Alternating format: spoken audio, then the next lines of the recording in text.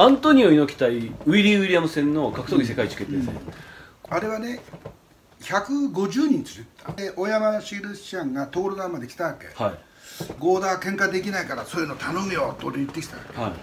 ねその時大山先生にまあこれお金を言ってればはい。ああいうことにならなかった。弟子と孫弟子が講義をやって 10, 10万円のリングサイドほとんど売れてあは何千万のお金動いてるんだから、い。は先生にしてみればなんでお前お金持ってきないのかってなっちゃう。で黒崎先生と梶谷先生が仲良くなっちゃって焼き餅焼くわけ。あー。焼き餅ってのは怖いんだよ。女の焼き餅よりも男の方が怖いんだよ。あー。これ命令されたわけ。乱闘に持ち込んで殺し合い殺せるんだよ。